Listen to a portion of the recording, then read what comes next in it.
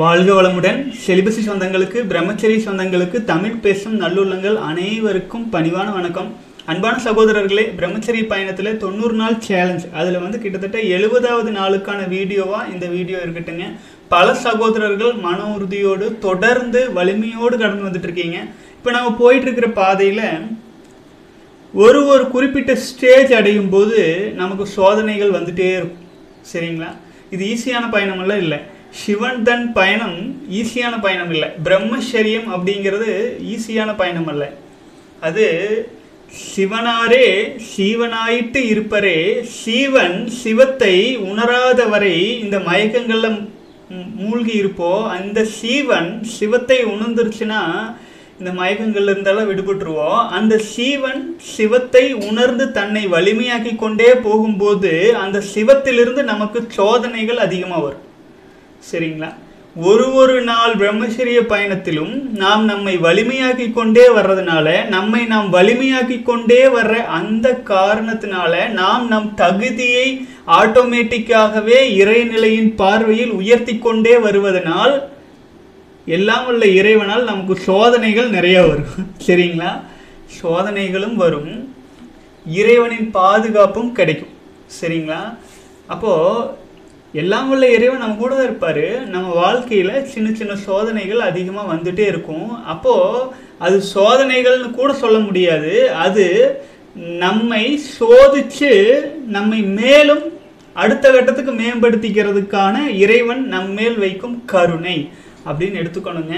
So பிரம்மச்சரிய பயணத்தில் நீங்கள் நாட்கள் அதிகம் கடக்க கடக்க உங்கள் தகுதிகள் உயர உயர உயர யார் ஒருவர் எது ஒன்றை அடைய தகுதியுடையவராக இருக்கிறாரோ அது அவங்களுக்கு இயல்பாக கிடைக்க ஆரம்பிக்கும். அப்போது உங்கள் தகுதி உயர்ந்துட்டே இருக்குது அப்போது உயர்ந்துட்டு இருக்கிற தகுதிக்கு தகுந்தாற் போல உங் நீங்கள் அடைய வேண்டிய விஷயம் உங்களை வேகமாக அடைய நெருங்கி வரும். அப்போது அதுக்கான சோதனைகளும் அதற்கான வாழ்க்கை சூழல்களும் வாழ்க்கையில் ஏற்படும். அப்போது என்ன பண்ணணுங்க? உறுதியாக இருக்கணும் பிரம்மச்சரியத்தில் ஒழுக்கத்தில். சரி நம்ம வந்து இந்த பயணத்தில் உள்ளே போகிறதுக்கு முன்னாடி நம் சகோதரர் வந்து ஒரு திருமந்திரம் பாடல்னா இதை கொஞ்சம் விளக்கம் சொல்லுங்கண்ணா அப்படின்ட்டு எனக்கு அனுப்பியிருந்தாரு. நாம் வந்து பார்த்தீங்கன்னா திருமந்திரத்தில் மூவாயிரம் பாடல்கள் இருக்குது அதில் பிரம்மச்சரியத்திற்கு உகந்த அல்லது சரியான வகையில் நம்ம இந்த காலகட்டத்திற்கு எடுத்துக்கொள்ள வேண்டிய பாடல்களை பெரும்பாலும் பார்த்துருக்கோம். இருந்தாலும் சகோதரர்கள் ஒரு சிலர் வந்து சந்தேகங்கள் கேட்கறதுனால அந்த ஒரு பாடலை மட்டும் நான் இன்றைக்கி எடுத்து நான் பார்த்துட்றேங்க ஸோ உங்களுக்கு யூஸ்ஃபுல்லாக இருக்கும். தவம் செபம் சந்தோடம் ஆத்திகம் தானம் சிவன் தன் விரதமே சித்தாந்த கேள்வி. மதம் மகம் சிவ பூசை ஒன் மதிசொல் ஈரைந்து நிவம்பல செய்யின் நியமத்தனாமி.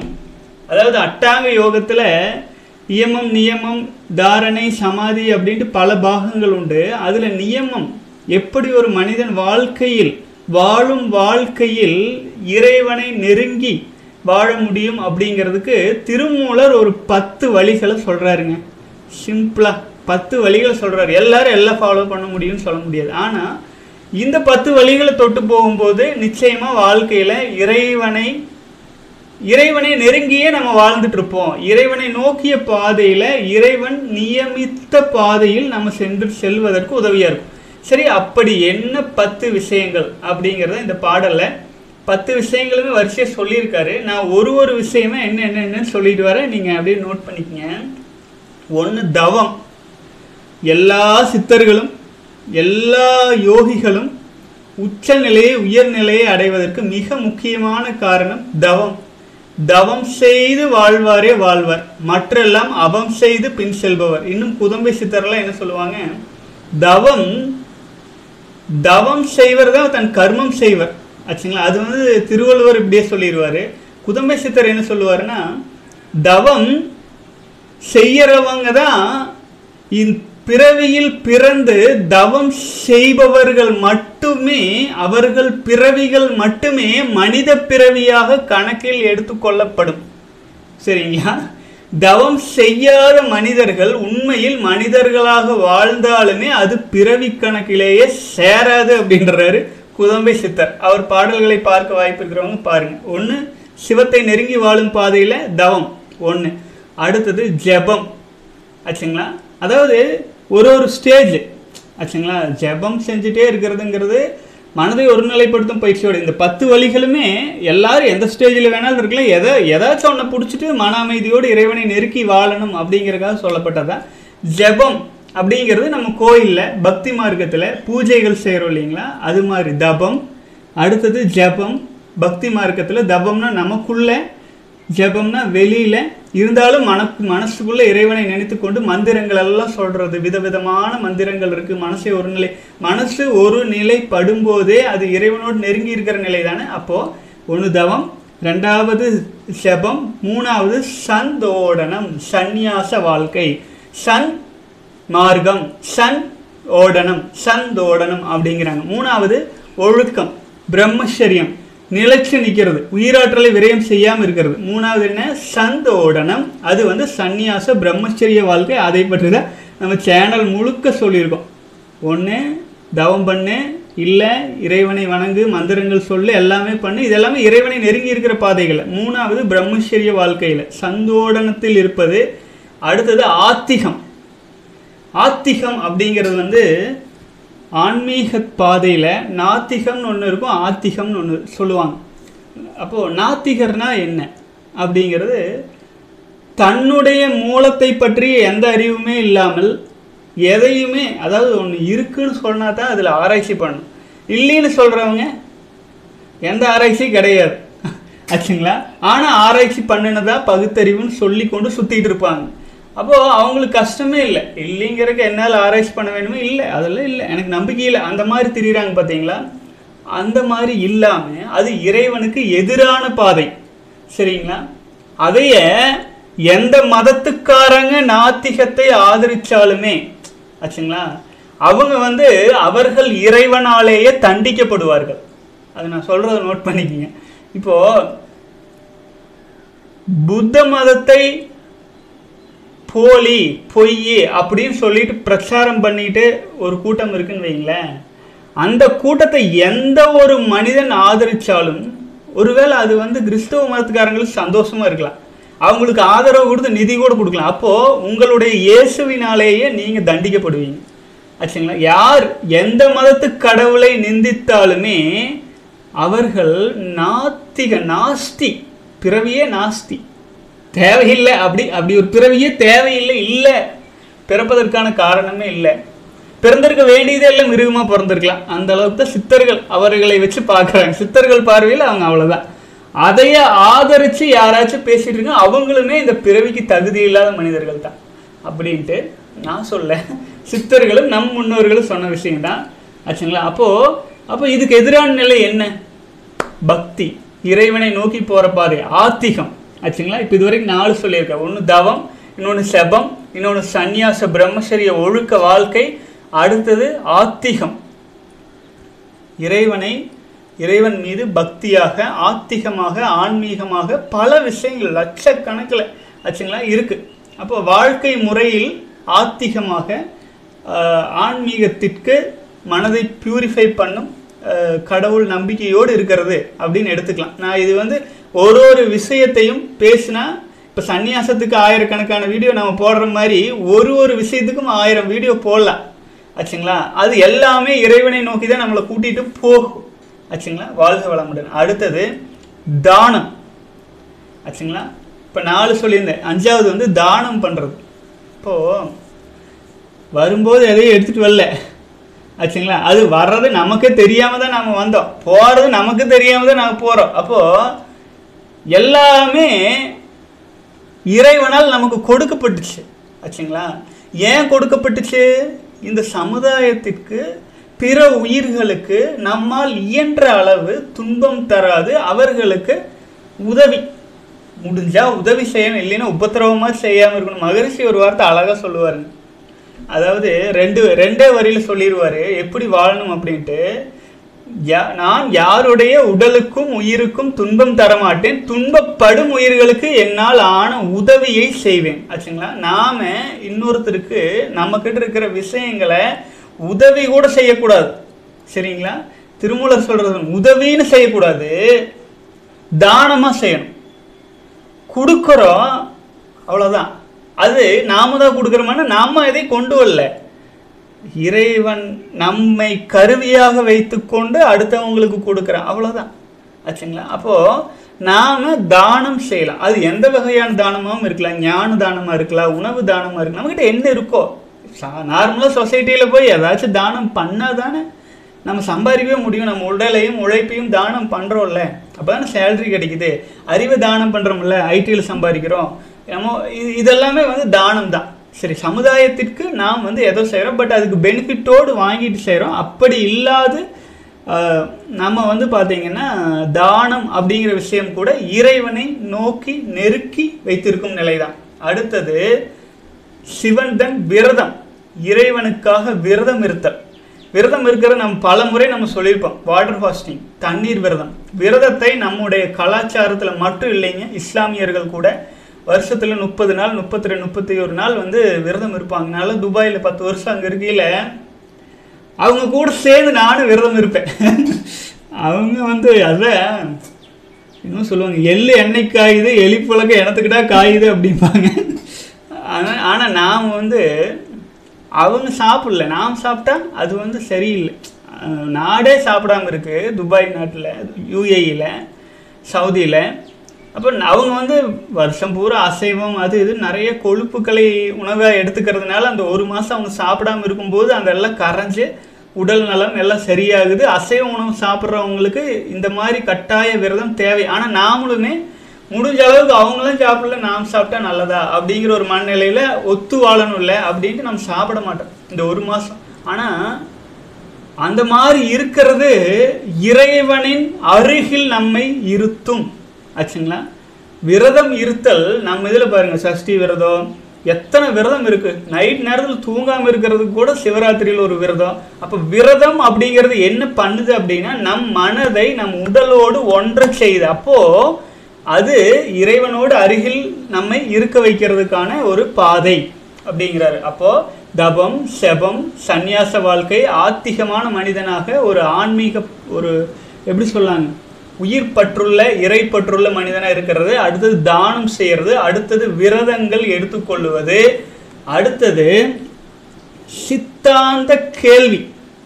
சித்து அந்த கேள்வி. இட் மீன்ஸ் வந்து எப்படின்னு கேட்டிங்கன்னா நம்ம மனதளவில் நம்முடைய ஆதி அந்தமான நம்முடைய எப்படி சொல்லாங்க? நமக்குள்ளாக நான் யார்? நான் ஏன் பிறந்தேன்? இது வந்து நமக்குள்ளே நம்ம ரிசர்ச் பண்ணிக்கிற சாதாரண நிலையில் நமக்கு வர்ற எண்ணங்களை எல்லாமே கேள்விக்கு உட்படுத்துகிறோம் நமக்கு நமக்குள்ளாக இப்போ ரமண மகரிஷியுடைய ஒரு இது பார்த்தீங்கன்னா நான் யாருங்கிற கேள்வியிலேயே போகும். இப்போ இது பார்த்தீங்கன்னா மனதை ஆராய்ச்சி பண்ணுறதுல போகும். மனசுக்குள்ளே நம்ம வந்து கேள்வி கேட்டு சித்தத்தின் அந்தத்தில் நாம் கேள்விகளோடு அப்பதான் உண்மையை உணர முடியும்.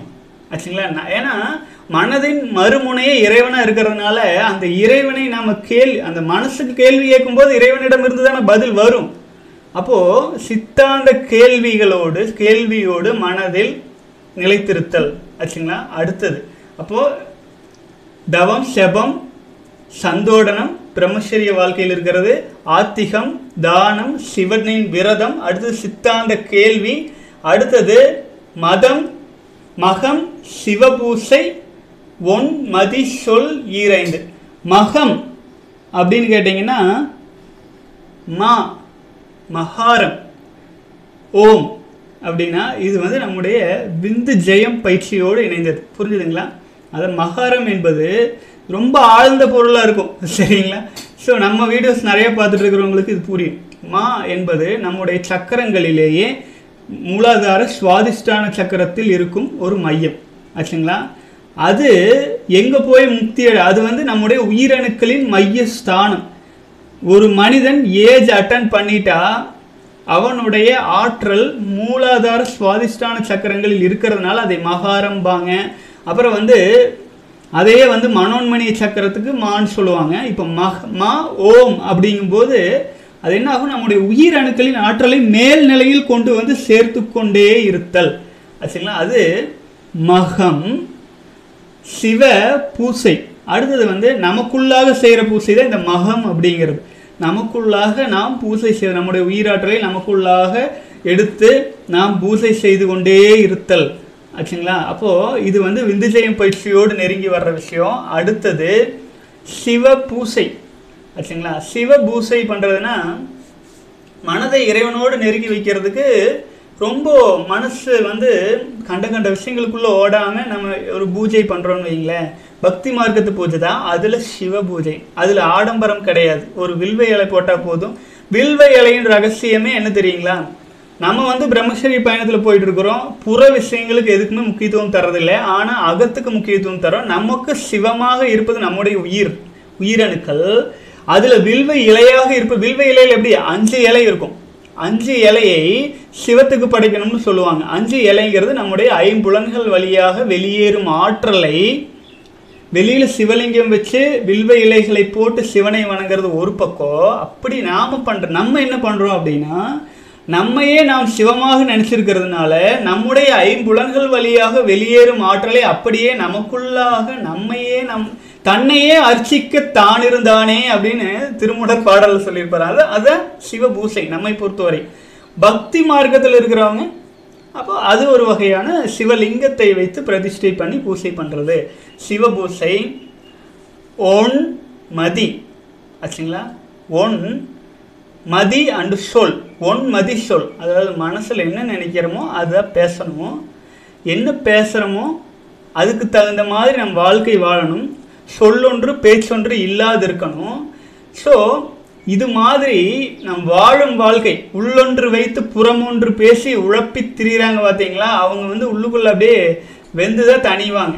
ஆச்சுங்களா? அது வந்து சிவத்தின் நிலைக்கு எதிரானது. அப்போ இது போல் ஈரைந்து இந்த பத்து விஷயங்களையுமே ஒரு மனிதன் வெவ்வேறு நிலைகளில் கடந்து வருவான். ஆச்சுங்களா? இப்போ ஒரு சாதாரண நிலையில் இருக்கிறவங்க குறைஞ்சபட்சம் என்ன பண்ணுவாங்க? சிவபூஜை பண்ணுவாங்க. சிவன் கோயிலுக்கு போய் பூஜை பண்ணுவாங்க.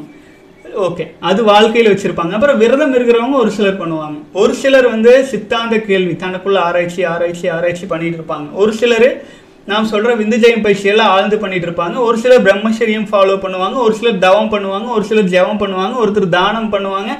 ஒவ்வொருத்தரும் ஒவ்வொரு படிநிலைகளில் இருப்பாங்க. ஆச்சுங்களா? அவர்கள் நூற்றுக்கணக்கான சந்ததிகளுக்கு அடுத்து அடுத்து அடுத்து பிறந்து வந்து அவங்க ஒரு ஸ்டேஜில் இந்த விஷயங்கள் அவங்களுக்கு செட் ஆகி அது பண்ணிட்டு இருக்காங்க. அது அவங்களுக்கு அதுதான் பெஸ்ட் அது பண்ணுறாங்க அவ்வளோதான் சரிங்களா? நீங்கள் நம்முடைய பிரம்மச்சரிய வீடியோஸ் பார்க்குறீங்க. தானே சிவமாக அமர்ந்திருக்கீங்க. நீங்கள் விந்துஜயம் பயிற்சி பண்ணுறீங்க தி எக்ஸ்ட்ரீம் எக்ஸ்ட்ரீம் சிவனுக்கு நெருக்கத்தில் நம்ம போயிட்டுருக்கோம் ஆச்சுங்களா? தானே சிவமாவதே உணர்ந்து ஆவோம். ஆச்சுங்களா? ஸோ இந்த பத்து படிநிலைகளை நான் ஏன் சொல்கிறேன் அப்படின்னா இது ரொம்ப ரொம்ப முக்கியம். இது இது நீங்கள் வந்து இறைவனுக்கு அருகில் இருக்கிறதுக்கு இது எல்லாமே உதவும். சரிங்களா? இது விட்டு வேறு வேறு விஷயங்கள் பண்ணுற விஷயங்கள் எல்லாமே ஆற்றல் விரயங்கள் செய்கிறது இது எல்லாமே இறைவனிடமிருந்து விலகிய நிலை தான் சரிங்களா? வாழ்க வளமுடன். இதில் நீங்கள் எது வேணாலும் உங்கள் ஆன்மீக முன்னேற்றத்துக்கு பயன்படுத்திக்கலாம். ஜெபம் பண்ணுறது மந்திர ஜெபம் பண்ணுறதும் உங்கள் ஆன்மீக முன்னேற்றத்துக்கு உதவும். தவம் பண்ணுறது அபரிமிதமாக உதவும். சந்நியாச வாழ்க்கை பிரம்மச்சரிய நாட்களில் கடந்துட்டு போகிறதும் கண்டிப்பாக இந்த சமுதாய வாழ்க்கைக்குமே உதவும். ஆத்திகமாக நல்ல மனநிலையோடு நல்லவர்களோடு இருக்கிறது வாழ்க்கைக்கு உதவும். தானம் பண்ணுறது காசு காசுன்னு ஓடாமல் ஒரு எப்படி சொல்லலாங்க? தனக்கு தனக்கு போதுமான அளவுக்கு போதும் இல்லை. இவ்வளோ சாப்பிட்டா போதும் இல்லை. அதுக்கு மேலே இருக்கிறது எல்லோரும் பயன்படுத்தும் முடிஞ்ச அளவுக்கு முடிஞ்ச அளவுக்கு. ஆச்சுங்களா? உங்களுக்கு நீங்கள் சாப்பிடாம யாருக்கு பண்ண சொல்ல உங்களுக்கு போக மீதம் இருக்கிறது எதிர்பார்ப்பில்லாம் மற்றவங்களுக்கு பண்ணலாம் இல்லைங்களா? தானம் பண்ணுறது விரதங்கள் இருப்பது இதை பற்றி நம்ம பலமுறை பேசினதான் விரதங்கள் அடிக்கடி அனுஷ்டிக்க அனுஷ்டிக்க உடல் வந்து தன்னை மேம்படுத்தி கொள்ளும் மருத்துவர்களிடம் போகாத நிலைக்கு நம்மை கூட்டிகிட்டு வந்துடும் ஆச்சுங்களா? பிரம்மச்சரியத்தோடு இணைந்த விரதங்கள். ஆச்சுங்களா? அடுத்தது சித்தாந்த கேள்வி. நான் ஏன் இப்படி? நான் ஏன் இந்த மாதிரி இருக்கேன்? நான் ஏன் இந்த மாதிரி இருக்கேன்? நான் எப்படி என்னை மேம்படுத்திக்கிறது? இது போல் தன்னைத்தானே கேள்வி கேட்டுக்கொண்டே தன்னை மேம்படுத்தி கொண்டே வர்றது. ஆச்சுங்களா? இதில் நெகட்டிவாக போயிடக்கூடாது. சித்தாந்த கேள்வியாக நம்மை மேம்படுத்தி கொள்ளும் விதமாக இருக்கணும் அப்படிங்கிறது. அப்புறம் மகம் சிவபூசை பண்ணுறது மதியும் சொல்லும் ஒரே மாதிரி வச்சுக்கிறது. ஸோ இது எல்லாமே இந்த ஈரைந்துமே நிவம்பல செய்யின் சிவனை நோக்கி செல்லும் பாதையில் நியமித்த பாதை தான் இதெல்லாமே. சிவனை நோக்கி பா போகும் பாதைக்கு நியமித்த பாதைகள் தான் அப்படின்னு சொல்லியிருக்கிறாருங்க. வாழ்க வளமுடன். ஓரளவு விலகம் கொடுத்துருக்கேன்னு நினைக்கிறேன். அடுத்த சகோதரர்கள் கேள்வி பதில். ஒரு ரெண்டு மூணு கேள்வியே வேக வேகமாக பார்த்துடலாங்க. நிறைய கேள்விகள் இருக்குது அண்ணா எனக்கு வயசு பதினாறு ஆச்சு till today my highest streak is நூற்றி இருபது நாட்கள். ஒரு ஆறு மாதத்துக்கு நான் ஃபாலோ பண்ணிகிட்டு இருந்தேன். டெய்லி ரொட்டீன் நாலு மணிக்கு எந்திரிக்கிறது யோகா தேவ தவம் பண்ணுறது விந்துஜயம் பண்ணுறது but after expiry of my தாத்தா September last year I cannot capture the routine all of sudden my அவ்வா also expired on June Jayan அண்ணா.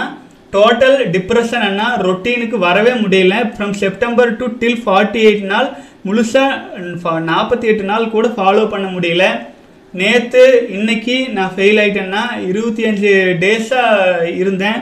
அப்புறம் பட்டினத்தாருக்கு இறைவன் ரெண்டு லைனில் உணர்த்தியது போல நீங்கள் எனக்கு பிரம்மச்சரியத்தின் ரூல்ஸை சுற்றத்தை உணர்த்துங்க. அட கேட்டு என் பாடியும் உடம்பும் அடாப்ட் ஆகும் along with mind now my mind is somewhat stable but body adjust வர இப்போது மேக்ஸிமம் அவாய்ட் பண்ணுறேன் அண்ணா. பட் முடியல. மலச்சிக்கல் வேறு பெரிய பிரச்சனையாக இருக்குன்னா ஏர்லி மார்னிங் ஸ்டொமக்கில் மலம் இருக்குது பட் வரமாட்டேங்குது. குளித்தாலும் அன்கம்ஃபர்டபுளாக இருக்குது நீங்கள் தான் எனக்கு சொல்லணும். வாழ்வு வளமுடன். அதாவது முதல்ல மலச்சிக்கலுக்கு வரலாம். உடம்பு உடம்பு உணவு வேண்டாங்குதே. நம்ம உள்ள தள்ளிக்கிட்டே இருக்கிறோம். விரதம் இருங்க. தண்ணீர் விரதம் போடுங்க. ஒரு ந- ஒரு மூணு நாள் சாப்பிடாம இருங்களேன். அறுபத்தி ஒரு நாள் வரைக்கும் நீங்கள் சாப்பிடாம இருந்தால் ஒரு பிரச்சனையும் இல்லைன்னு இப்போ இருக்கிற வணிக விஞ்ஞானங்களே ஆராய்ச்சி பண்ணி சொல்லிடுது. அப்போது இது மலச்சிக்கல் தீக்கிறதுக்கு இன்னொரு பிரம்மச்சரியத்தில் இருக்கிறவங்களுக்கு ஒரு இன்டர்மீடியட் ஃபாஸ்டிங் அப்படிங்கிற மாதிரி ஒரு விஷயத்தை எடுத்துக்கலாம். முடிஞ்ச அளவுக்கு. அதாவது எட்டு மணி நேரம் சாப்பிட்றதுக்கான நேரம். ஆச்சுங்களா? மீதி இருக்கிற பதினாறு மணி நேரம் எதுவும் சாப்பிடாத நேரம். அந்த மாதிரி பண்ணிக்கங்க. ஒரு பதினாறு மணி நேரம் வயிறு எம்டியாக வைக்கிறீங்க முடியுமா பாருங்கள் அதாவது காலையில் சாப்பிட்றீங்க ஒரு ஒம்பது மணிக்கு சாப்பிட்றீங்க அப்புறம் ஒரு மூணு மணிக்குள்ளே என்ன வேணுமோ சாப்பிடுங்க. அதுக்கப்புறம் மூணு மணிக்கு மேலே அடுத்த நாள் காலையில் ஒம்பது மணி வரைக்கும் எதுவுமே சாப்பிடாதீங்க. உடம்புக்கு வயிற்றுக்கு ரெஸ்ட்டு கொடுங்க. சரியா? வயிற்றுக்கு கொஞ்சம் ரெஸ்ட்டு கொடுத்து உங்களை வந்து ஒரு குறிப்பிட்ட பழக்க சூழலில் சிக்கி இருக்கிறோம் இல்லைங்களா? அது உடம்ப கெடுத்துரும். உடம்ப கெடுக்கிறதுக்கான பாதை அது. ஆச்சுங்களா? பதினாறு மணி நேரம் எதுவும் சாப் வாயில் எதுவுமே சாப்பிடக்கூடாது. தண்ணி தவிர நீராகாரம் வேணால் சாப்பிட்டுக்குங்க. வேணால் ஒரு டீ குடிங்க மாலை நேரத்தில். ஆனால் உணவு அப்படின்னு நீங்கள் சாப்பிட்றது வந்து பார்த்தீங்கன்னா இந்த எட்டு மணி நேரம் ஒரு ஸ்கேலுக்குள்ளே அதை நாளாக நாளாக சுருக்கிட்டே வாங்க. சுருக்கிட்டே வாங்க. அப்போது ரெண்டு வேளை உணவுங்கிற தானும் ஒரு வேளை உணவாக கூட மாறிக்கும். ஆனால் உடம்பு வந்து தன்னை பக்குவப்படுத்தி பக்குவப்படுத்தி நல்லா ஸ்ட்ரென்த் ஆகி உடலில் இருக்கும் உள்ளுறுப்புகள் எல்லாம் வலிமை இருக்க ஆரம்பிச்சிடும் ஸோ இதை இன்டர்மீடியட் ஃபாஸ்டிங் அதாவது ஒன் டே ஃபுட் அப்படிங்கிற மாதிரி விஷயங்கள் யூடியூப்பில் கூட நீங்கள் சர்ச் பண்ணி பாருங்கள் மலச்சிக்கலை சரி பண்ணணும் அப்படி ஏன் சிக்கல் ஆகுது அப்படின்னா நிறையா சாப்பிட்டே இருக்கீங்க. குறையுங்க அப்புறம் ஒன்று எனக்கு அடுத்த மெயில் போடுவீங்க. எங்கள் அம்மா வந்து எங்கள் அப்பா போட்டு வச்சிடுறாங்க சாப்பிட்டே ஆகணுங்கிறாங்க அதுங்கிறாங்க. உங்கள் உங்களோட லைஃபு நீங்கள் தான் பார்த்துக்கணும். அதெல்லாம் நீங்கள் தான் ஹேண்டில் பண்ணணும். அது நாம ஒன்றும் பண்ண முடியாது. நான் என்ன சொல்ல முடியுமோ அதை நான் சொல்கிறேன் அதுக்கப்புறம் நீங்கள் அதை உங்களுக்குள்ளாக ஆராய்ச்சி பண்ணி அது எது சரியோ அதை நீங்கள் எடுத்து பண்ணணும். அடுத்தது எப்போதுமே நீங்கள் பதினாறு வயசு பிரம்மச்சரிய பயணத்தில் நூற்றி இருபது நாள் கடந்து சாதாரண விஷயமே இல்லை. நீங்களாம் இறைவனுக்கே இணை. இறைவனே தான். ஆச்சுங்களா? இந்த வயசில் இருபத்தஞ்சி வயசு வரைக்கும் நீங்கள் கடந்து வந்துட்டீங்கன்னா பிரம்மச்சரியத்தில் உங்கள் வாழ்க்கையில் நினச்சது நடக்கும். நீங்கள் நினைக்காததெல்லாம் நடக்கும். உங்கள் வாழ்க்கைக்கு என்ன தேவையோ எல்லாமே கிடைக்கும். ஏன்னா இறைவனே நினைக்கிறான்னு அர்த்தம். மகாவிஷ்ணு ஒரு விஷயத்தை நினச்சாருன்னா அது நடக்காமல் இருக்குமா? சிவன் ஒரு விஷயத்தை நினச்சா அது நடக்காமல் இருக்குமா? நீங்கள் ஒன்று நினச்சா அது நடக்காமல் இருக்குமா? எப்போ? பிரம்மச்சரியத்தில் வலிமை அடையும் போது. ஆனால் அதில் ஒன்று இருக்குது உங்களுக்கு எது நல்லதோ அது மட்டும்தான் நடக்கும். ஆச்சுங்களா? உங்களுக்கு கெட்டதை எது எதெல்லாம் இருக்கோ அதெல்லாம் நடக்காது. ஆச்சுங்க இறைவனை நோக்கி தீய விஷயங்கள் விலகித்தான் ஓடுமே ஒழிய நான் உடனே நான் வந்து பயங்கரமாக நினச்சிட்டேன்னா ஆனால் அது எனக்கு நடக்கவே இல்லை அப்படின்னா அது உங்களுக்கு ஒத்து வராது. அது உங்கள் வாழ்க்கையை சிதைச்சிரும். அதனால உங்களுக்கு அது நடக்கலை. புரிஞ்சுதா? உங்களுக்கு எது நல்லதோ அது மட்டுமே நடக்க ஆரம்பிச்சிடும் அப்போ தான் வாழ்க்கை அமைதியாக போகும். அப்போது நூற்றி இருபது நாளில் பிரம்மச்சரியம் கடந்திருக்கீங்க. இப்போ ஏன் இருபத்தஞ்சு நாள் கூட தாண்ட முடியல? இன்னொன்று என்னன்னு கேளுங்க. நான் இது உதாரணம் பலமுறை சொன்னதான் இப்போ ஒரு சல்லடையில் ஒரு சல்லடையில் பச்சை தண்ணி ஊற்றுனீங்கன்னா சருன்னு வந்துடும் தண்ணி. இப்போ வடிகட்டுற சல்லடை இருக்கு இல்லைங்களா அதில். அதில் ஒரு ஒரு கெட்டியான குழம்பையவோ அல்லது வந்து ஒரு பாயாசத்தையோ ஊற்றுனீங்கன்னா வ கெட்டியாக இருந்துச்சுன்னா சொட்டு சொட்டாக தான் ஒழுகும். வராது. அப்போது பிரம்மச்சரிய ஆரம்ப காலகட்டங்களில் நம்முடைய உயிரணுக்கள் வந்து குறைவு நம்ம உடம்புல. உதாரணத்துக்கு தான் நான் சொல்கிறேன் உடனே வந்து நீங்கள் ரொம்ப ஆராய்ச்சி ஒரு பேசிக்காக இருக்கிற ஐடியாவில் நான் சொல்கிறேன் நம்ம உடம்புல உயிரணுக்கள் எண்ணிக்கை குறையான அடிக்கடி விரயம் செஞ்சுட்டே இருக்கிறவங்களுக்கு. அப்போது நாற்பத்தி எட்டு நாள் அப்படியே நீண்ட நாள் பிரம்மச்சரியத்தில் போகும்போது நம்முடைய உயிராற்றல் திணிவடையிருக்கா நிறைய ஆயிடுச்சுன்னு வைங்களேன் இப்போ ஒரு- டம்ளர் சர்க்கரை தண்ணியில் சர்க்கரை போட போட போட என்ன ஆகும்? திக்னஸ் அதிகமாயிட்டே வருதுல்ல. அதுபோல் நம் உடலில் இருக்கும் நம்முடைய லைஃப் ஃபோர்ஸில் நம்முடைய திணிவு அதிகரிச்சுட்டே வந்துட்டுருக்கும் நீண்ட கால பிரம்மச்சரியத்தில் போயிட்டு இருக்கிறவங்க எனக்கு ஒரு சகோதரர்லாம் மெயில் போட்டிருக்காரு. நான் ஆனால் நான் வந்து கிட்டத்தட்ட ஒன்றரை வருஷமாக நான் பிரம்மச்சரியம் ஃபாலோ பண்ணுறேன் விந்துஜயம் பற்றி ஸ்ட்ராங்காக பண்ணிகிட்டு இருக்கேன் நான் வந்து திடீர்னு டெஸ்டிங் பண்ணலான்னு மாஸ்டர் பேசன் பண்ணி பார்த்தேன். உண்மையிலேயே எனக்கு வந்து உயிராற்றல் வெளியிலே வரலைங்கண்ணா ஒன்றுமே வரலைங்கண்ணா அப்படிங்கிறாரு. தம்பி நீ விந்துஜயம் பயிற்சியெல்லாம் ஸ்டாப் பண்ணு. அவர் கேட்குறாரு இந்த மாதிரி குடும்ப வாழ்க்கைக்குள்ளே போகணும் அப்படின்னா நீ இதெல்லாம் ஸ்டாப் பண்ணு. ஒரு நாற்பத்தி எட்டு நாளாச்சு ஸ்டாப் பண்ணி ஒரு நார்மல் லைஃப் ஆகிட்டீங்கன்னா உனக்கு ஆட்டோமேட்டிக்காகவே வந்து பார்த்தீங்கன்னா விந்துஜயம் பயிற்சியெல்லாம் பண்ணாமல் விட்டீங்கனாலே நீங்கள் நார்மல் ஆயிடுவீங்க கவலைப்படாதீங்க அப்படின்னு நான் சொல்லியிருந்தேன். அது இந்த பயிற்சிகள் மூலமாக விந்துஜயம் பயிற்சி மூலமாக என்ன ஆகுதுன்னா உயிராற்றலை வந்து உயிர் அணுக்களை உயிர் ஆற்றலை நம்ம டிரான்ஸ்மிட்டேஷன் வேறு நம்ம பண்ணி வச்சுட்ருப்போம் அப்போ என்ன ஆகும்? திக்னஸ் அதிகமாயிட்டே வரும். திக்னஸ் அதிகமாயிட்டே வரும்போது நமக்கு வந்து நாம் விரும்பாமல் நம்முடைய உயிர் அணுக்கள் வெளியில் நம்ம விட்டு சுத்தமாக கூட போகாது. நம்ம விரும்பினா கூட போகாத அளவுக்கு நம்ம உடல் கல்பதேகமா கூட மாறிடும். உடல் இறைவனுக்கு தெரியுங்க ஒரு நம்ம வந்து வாழ்க்கை முறை எந்த மாதிரி அமைச்சிருக்கிறோமோ அந்த மாதிரி. ஆனால் நீங்கள் ஏமாந்தீங்கன்னு வச்சுக்கோங்க. நீங்கள் வந்து உங்களை வந்து ஒரு ஒரு நாற்பத்தி எட்டு நாள் கூட உங்களை நீங்கள் ஸ்ட்ராங்காக வச்சுக்கலீங்கன்னா ரொம்ப லிக்விடேட்டாக இருக்கும். ஆச்சுங்களா? அப்போது ஒரு சின்ன அசைவுகளுக்கே ஆற்றல் விரயமாயிரும். ஒண்ணுமில்லாமே ஆயிரும். ஆச்சுங்களா? அப்படி பழகிட்டோம் நம்பிட்டோம். நம்பியாச்சு அதே மாதிரி வாழ்ந்து. அப்போது அதிலிருந்து விடுபடணும். ஆச்சுங்களா? அப்போது நீங்கள் நாற்பத்தி எட்டு நாள் பிரம்மச்சரியம் கடப்பதற்கு நாற்பத்தி எட்டு நாளுமே கடந்தாகணும்னு கூட நினைக்க வேண்டாம். இன்னைக்கு நீங்கள் ரொம்ப அர்ஜஸ்டாக இருக்கீங்கன்னு வைங்க. என்னால் முடியல. தப்பு பண்ணியே ஆகணும்னு தோன்ற அளவுக்கு ஆயிடுச்சுன்னா இறைவா இன்னைக்கு ஒரே ஒரு நாள் என்னை காப்பாத்திடுறேன் நாற்பத்தெட்டு நாள் கூட போக வேண்டாம். நான் நாளைக்கு பார்த்துக்கிறேன் நாற்பத்தி எட்டு நாள் கிடக்கிறது இல்லை இன்னைக்கு ஒரு நாள் என்னை காப்பாற்றி விட்டுருன்ட்டு நீங்கள் கடந்துட்டீங்கன்னா அல்லது இந்த ஒரு நிமிஷம் அந்த உணர்வு தோன்றும் போது அதுக்கு அடிமையாக இந்த மொபைல் ஃபோனை பார்க்குற சூழல் வராமல் நீங்கள் உங்களை வந்து தப்பிச்சுக்கிட்டீங்கன்னா கட்டாயமாக இந்த ஒரு தவறான விஷயத்துலேருந்து வெளியில் வந்துடலாம் நம்ம எப்பவுமே சொல்கிறது என்னென்னாங்க வந்ததுக்கப்புறம் நம்ம காப்பாற்றிக்கணும்னு சொன்னால் தப்பிக்கிறது கஷ்டம். ஆச்சுங்களா நம்ம ஆற்றல் இந்த மீன் நான் மீன் கதை சொல்லியிருப்பேன் அடிக்கடி. இப்போ அதாவது வந்து ஒரு பிரச்சனை வருது. ஒரு பிரச்சனை வருது. அது வந்துச்சுன்னா நம்ம உயிருக்கே ஆபத்துன்னு தெரியும் போது அந்த பிரச்சனை வர்றதுக்கு முன்னாடியே இந்த மாதிரி வர்றதுக்கு வாய்ப்பு இருக்குன்னு தெரிஞ்ச உடனே அதுலேருந்து எஸ்கேப் ஆகிறதுக்கான வழிகளை செஞ்சுக்கிறவங்க தப்பிச்சுக்குவாங்க. அந்த எஸ்கேப் ஆகிறதுக்கான வழிகள் தான் விந்து ஜெயம் பயிற்சி தவம் பண்ணுறது எல்லாம் நம்ம பிஸியாக வச்சுக்கிறது. இதெல்லாம் நம்ம தான் நம்மளுக்கு உருவாக்கிக்கணும். நான் சும்மாவே மொபைல் வச்சுட்டு சும்மாவே சுற்றிட்டு இருப்பேன். ஆனால் நான் பிரம்மச்சரியத்தில் ஸ்ட்ராங்காக இருக்கணும்னா அப்போது அது இன்பத்தை அப்போ நம்ம இன்பத்தை விரும்புகிறோம் இன்பத்தை நோக்கி போகும்போது அப்போ இறைவனை அடையிறதுக்கு நம்ம தகுதி இல்லாமல் இருக்கிறோம். அப்போ தகுதி இல்லாமல் நாம் இருக்கும்போது அப்போ நம்ம ஆற்றல் விரையும் பண்ண தான் செய்வோம். ஆகவே நான் சில விஷயங்களை கலந்து தான் சொல்லியிருக்கேன். யோசிச்சுக்கோங்க. நீங்கள் யோசிங்க. இப்போ நான் சாப்பிட முடியுமா? சொல்லுங்கள் எனக்கு பசிக்குதுன்னு நீங்கள் சொல்கிறீங்க நான் கொஞ்சம் சாப்பிட்டா உங்களுக்கு வயிறு நம்பிடுமா பலர் அதான் மெயில் பண்ணுறாங்க ஆனால் முடியல முடியல முடியல முடியல. ஏன் முடியல? ஏன்னா நீங்கள் இன்னும் இன்பத்துக்கு அடிமையாக இருக்கீங்க. ஏன் இன்பத்துக்கு அடிமையாக இருக்கீங்க? வர்றதுக்கு முன்னாடி உங்களை காத்துக்கிறதுக்கான வேலை நீங்கள் செய்யாமல் இருக்கீங்க. அது என்ன வர்றதுக்கு முன்னாடி உங்களை காத்துக்கிற வேலை? உங்களுடைய காலத்தை நீங்கள் சரியாக பயன்படுத்திக்காமல் இருக்கீங்க. அது என்ன காலத்தை சரியாக பயன்படுத்திக்கிறது? அப்படின்னா காலையில் எந்திரிக்கிறீங்க. இதெல்லாம் செய்யணும்னு ஒரு ரொட்டீன் போட்டு வச்சுருக்கீங்க அப்படின்னா அதையே கட்டாயம் செய்யுங்க செய்யணும்.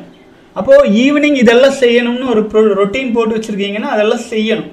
அப்போது நார்மலாக எப்பவுமே முதல் நாள் பிரம்மச்சரியத்தில் முதல் நாள் துவங்க போது பயங்கரமாக ஒரு இன்ட்ரெஸ்ட் ஆகி ஒரு வெறி ஆகி ஒரு ஃபயர் ஆகி பிரம்மச்சரிய நாள் ஸ்டார்ட் பண்ணுவோம். அப்போ ஸ்டார்ட் பண்ணுற டைம்லேயே இதெல்லாம் பண்ணணும் இதெல்லாம் பண்ணணும். நீங்கள் ஸ்கெடியூல் போட்டு வச்சுருப்பீங்கள அந்த ஸ்கெடியூலை மீறாமல் இருந்தீங்கனாலே நீங்கள் கடந்துருவீங்க. அது நீங்கள் எப்போ மீறுறீங்களோ நல்லா நோட் பண்ணுங்கள் நீங்கள் எப்பெல்லாம் அந்த ஸ்கெடியூலை உங்களோட ஸ்கெடியூல்லேருந்து இருந்து மீ தப்பம் தா தாண்டி வரீங்களோ அப்போல்லாம் நீங்கள் இந்த படுகொலியில் விழுந்துருவீங்க.